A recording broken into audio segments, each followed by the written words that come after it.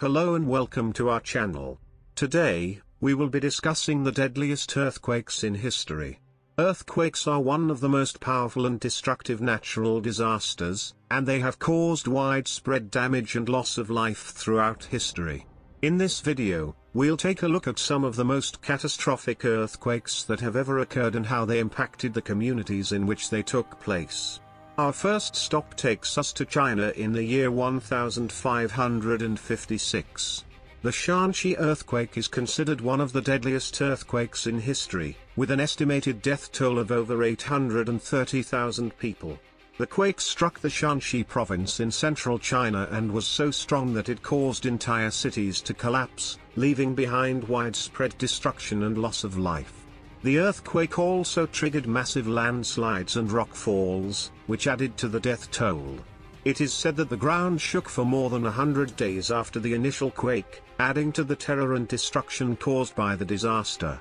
Next, we move to China once again, to the year 1976 and the Tangshan earthquake.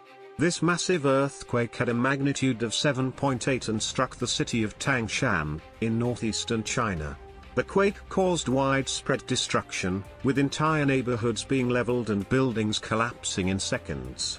The death toll from the Tangshan earthquake is estimated to be around 240,000 people, making it one of the deadliest earthquakes in modern history. The earthquake also caused widespread damage to the city's infrastructure, making it difficult for rescue teams to reach those in need of help. Our next stop takes us to the Indian Ocean in the year 2004, where one of the deadliest earthquakes and tsunamis in recorded history took place. The earthquake, which had a magnitude of 9.1, struck off the coast of Sumatra, Indonesia, and caused massive waves that swept across the Indian Ocean and devastated coastal communities in several countries, including Indonesia, Thailand, Sri Lanka, and India.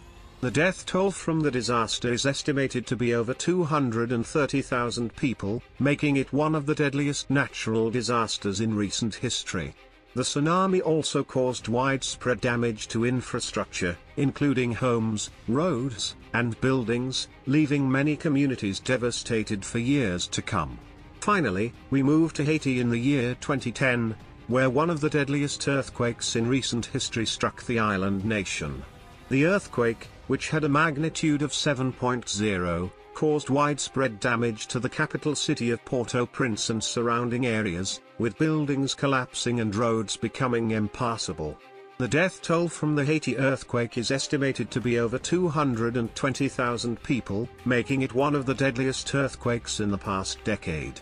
The disaster also left thousands homeless and without access to basic necessities like food, water, and medical care making recovery and rebuilding a long and difficult process. In conclusion, earthquakes are one of the most powerful and destructive natural disasters, and they have caused widespread damage and loss of life throughout history.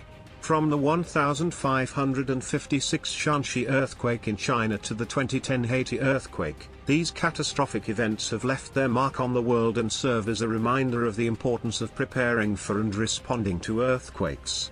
We hope this video has provided some insight into the deadliest earthquakes in history and the impact they have had on communities around the world. Thank you for watching, and be sure to like and subscribe for latest updates.